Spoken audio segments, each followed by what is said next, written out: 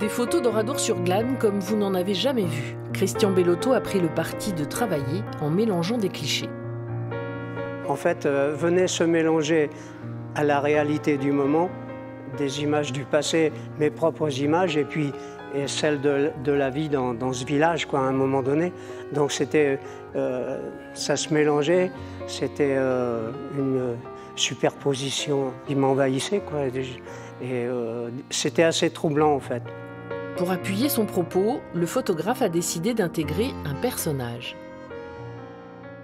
Donc c'est mon personnage qui là, qui là est vivant, mais qui s'intègre complètement dans le décor. Et après, au fur et à mesure qu'il euh, découvre chaque recoin, il se voit mort, parce que il n'y avait pas d'échappatoire possible.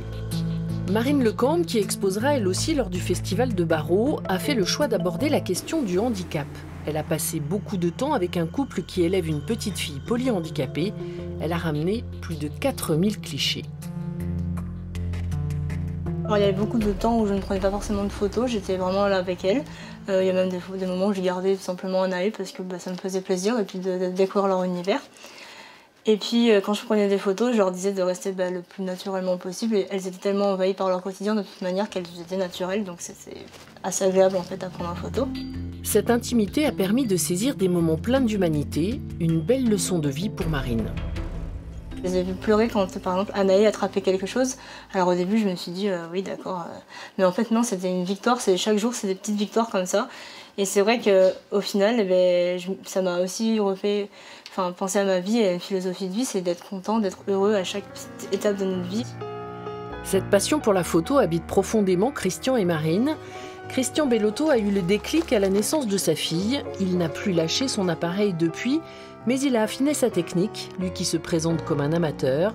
Et surtout, il a réalisé qu'il fallait être impliqué pour donner un sens à ses clichés. Aller chercher au fond de soi-même, ça nécessite faire une introspection, de savoir finalement euh, qui on est, la place qu'on occupe dans cette société qui est plus en plus démentielle, je trouve, à mon goût, euh, où tout va très vite, etc.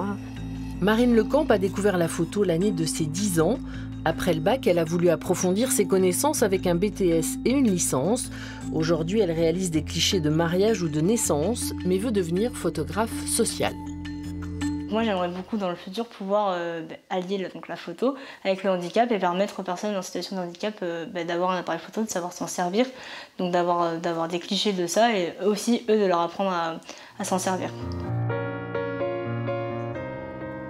Ces deux photographes seront exposés à Barreau à partir de samedi pour le festival Bar Objectif, aux côtés de l'invité d'honneur, Olivier Grunewald.